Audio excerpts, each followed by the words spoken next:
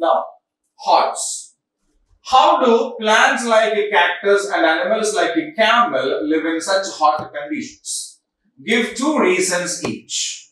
So, we have seen that the vegetation, plants or animals in desert region is very scarce. We can see only some specific kinds of plants there like the cactus. And very few animals like a camel live in the desert region.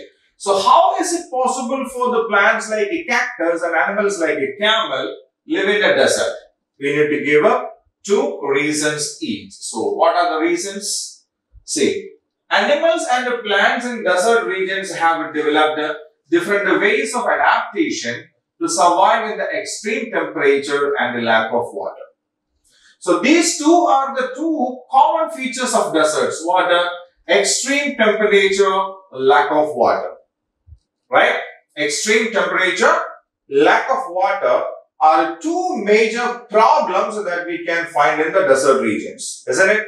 Yes. Now, these animals and the plants, the plants like a cactus or a babool, okay, and uh, animals like a camel, rattlesnakes or a kangaroo rat, right?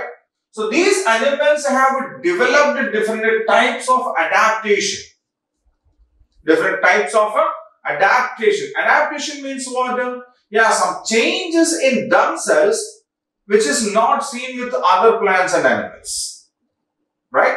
And that is how they are able to survive in the extreme climatic conditions of a desert. So how do the plants adapt themselves? Many plants go very deep in search of water. They have thick fleshy stems in which they store the water. The, the leaves are in the shape of spines, reduce transpiration. So when we discussed uh, uh, cactus in the lesson, I've told you cactus are such kind of plants which have got a very long root system. So their roots can go farther and deeper in search of water. Okay. So cactus plants have got such kind of a root system which can go very farther and deeper in search of water. And whatever water they brings up, they store as a gel kind of a stuff in the stem itself. Okay. So cactus do not have leaves, they have stems. That stem is actually in the shape of a leaf. Okay. So they store the water in a thick fleshy stems and their leaves are converted into thorns. Cactus have thorns, no? Right. So why these leaves are converted into thorns? One, thorn gives them protection from the animals who are always in search of water. Two, it uh, reduces uh, transpiration. Transpiration means water yeah, evaporation of water from plants is called transpiration. Okay, so we know plants absorb a lot of water from the soil, right? They absorb a lot of water from the soil and uh, that is actually traveling through different parts of the plant, through the branches to the leaves, isn't it? Where uh, these plants are living in extreme temperature this water will get evaporated from the leaf also. There are very small holes called the pores. Okay.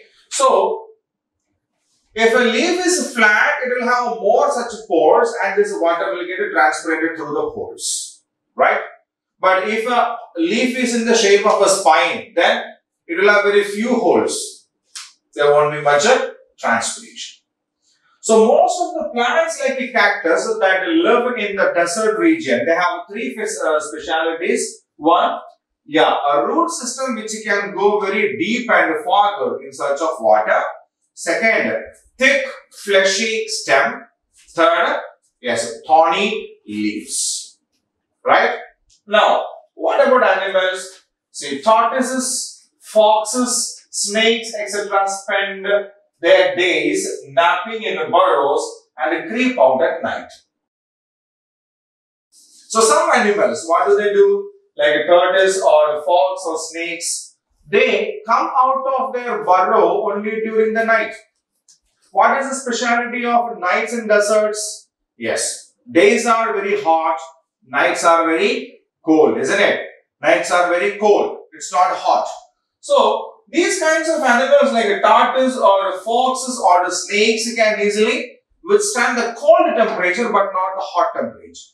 Okay. So, during night time, they come out and uh, they hunt during that time.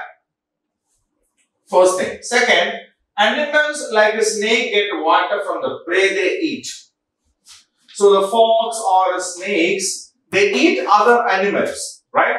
They eat other animals. So when they eat other animals, the, the liquid, the fluid, the water in the body of the animal gets into their body. Okay, because we eat the food and for water we drink water, isn't it?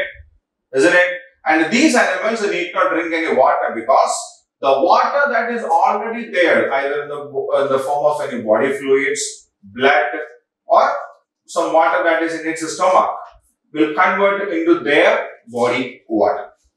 Okay? So they get water from the prey they eat. Then animals like camels have a thick fur on the top of the body. It prevents evaporation, exasperation. Right? Then it can also store water for many days. Right? So most of the animals come out into the hot desert only during the night time because climate will be cool during that time. Right? Then uh, they get water from the animals they eat. Third,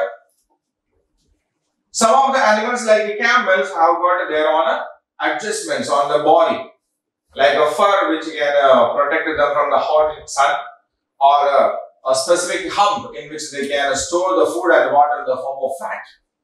Right? So, these are some kind of features that we cannot see with animals in the usual regions. Okay?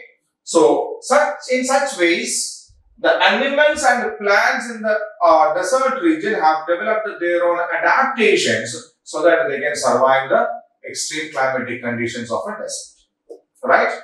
Okay. Now, I'll keep the screen the same for another minute so that we can, uh, yeah, read them once again.